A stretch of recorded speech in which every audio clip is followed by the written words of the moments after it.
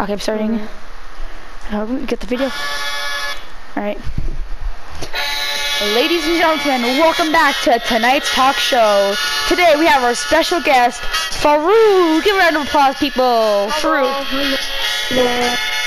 Now, Farouk, can you explain to us how'd you get so popular?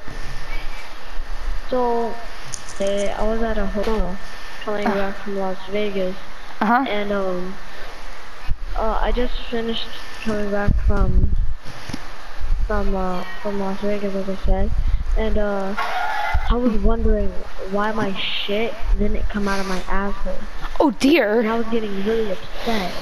So then I heard, so then I went on the phone book in the hotel. There was like a little phone book thingy. It was yellow, and it said that you were the one, you were the one and only friend of Tyrone, the number one rapist in town.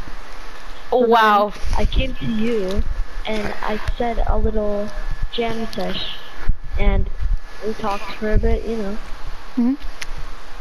Wow. Truly incredible stuff. Come on, one more round of applause for Farouk here, everybody.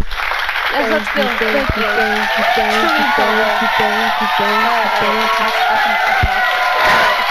This guy wait for the crowd to settle down.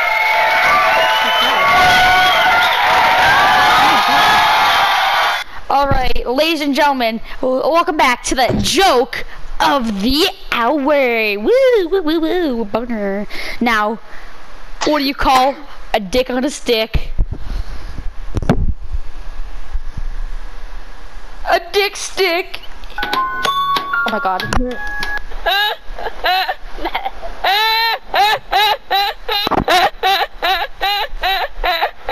Ladies and gentlemen, that is concluding our talk show tonight.